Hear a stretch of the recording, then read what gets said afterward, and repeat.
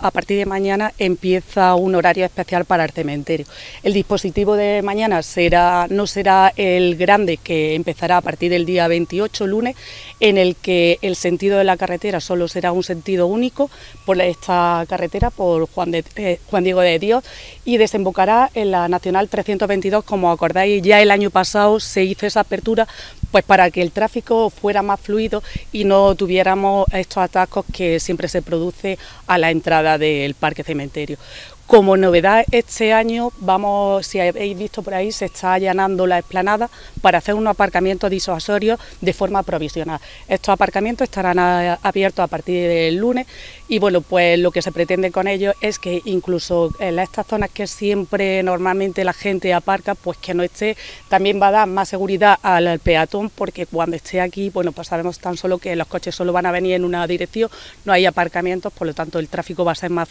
más fluido y lo que pretendemos es que estos días pues pasen con la mayor tranquilidad y normalidad. Como he dicho anteriormente, mañana sí habrá este fin de semana, habrá un dispositivo, pero será eh, tan solo porque el tráfico va a estar, sí que estará rodado en los dos sentidos porque dará la vuelta porque la carretera se abrirá a partir del lunes.